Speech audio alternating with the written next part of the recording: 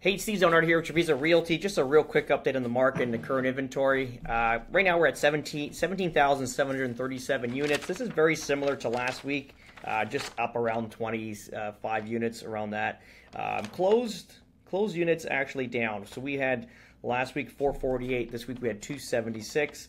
Uh, the pending with conditions, like I mentioned, this is usually properties that have gone under contract the last seven days. This is exact same number at 249. Um, so, so not too bad. So we're basically trending along that way. Um, the feds are meeting on the 16th and 17th of this month. Anticipation is going to have uh, a rate cut, which is going to obviously spur up the market here in the U.S., which is great. Um, uh, the North is still going quite well. South's a little slowed down because we're built up with inventory, but we're starting to see some more action going forward, even with listings that we've just sold off. Things that we've listed and we, th- we thought would never even sell. Like we had a condo, for example, uh, North Fort Myers that, that was listed for, must have been at least eight, nine months consist again the condo. Um, poor guy. Like some of the some of these people coming from out of state, out of country, they hire realtors and they put them into crap and they kind of walk away from it. So it was I kind of had to like clean this mess up. Um, but anyway, they were put into a condo where.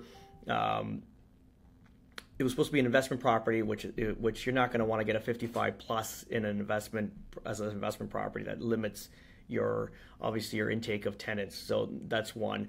Um, then the there was restrictions on how many times a year you can rent this property. It was like once for 90 days, which again really narrows that all down. Um, elder building um, built in like mid 60s, so not great. In a floodplain, like everything that you want to call wrong with it. Uh, so what we did, obviously, you got to create strategies to get these properties sold. We're not, you know, we have the experience kind of dealing with whatever kind of property we, we need to sell. We just got to basically position it differently to get it sold. So we did a seller financing, a, a vendor take back, and um, that's what kind of cured that. So what happens is an out of out of country client came in is going to utilize this uh, loan. Client makes five percent for three years you know, interest only, like a balloon payment, it's good for him at that point. Either that, you know, they're going to have to refinance it and just pay him out, and then ultimately he gets his money. If they default, he gets the earnest money now that came in, plus whatever interest gets paid in the next.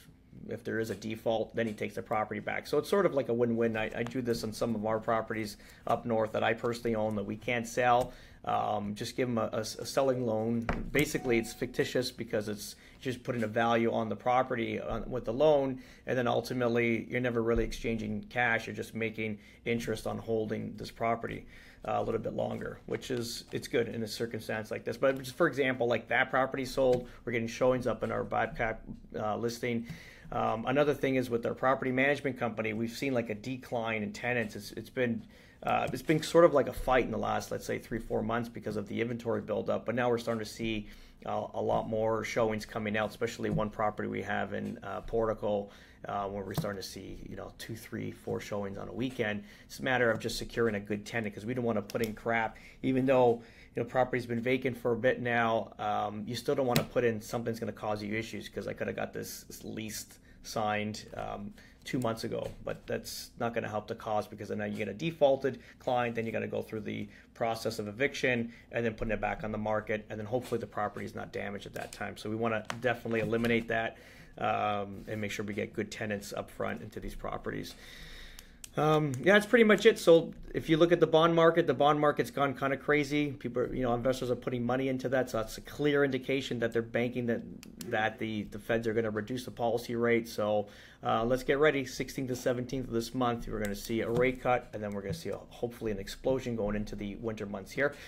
But that's it. If you're looking for properties here in Southwest Florida, if you need some information, give us a call. We're, we're happy to take them. We could even book a Zoom conference if you're at a state or out of country, and uh, we can go over what you what you need, what you're looking for. If you are selling a property, you're not in state, we can um, take that off your hands as well. Then also, if you're need a property management company, we can do that as well. We're basically going to be doing the four pillars of real estate. We have our building company. We're building uh, spec homes and selling through Treviso Homes, our real estate company, clearly buying, selling investments.